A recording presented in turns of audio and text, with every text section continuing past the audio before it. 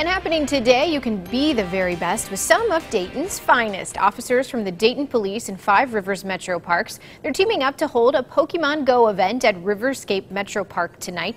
It's set for 5. It's going to run until 7. The best part, admission is free and it's open to Pokemon Go players of all levels of experience. Police say they hope the event serves as an opportunity to meet and connect with citizens and visitors to our great downtown area.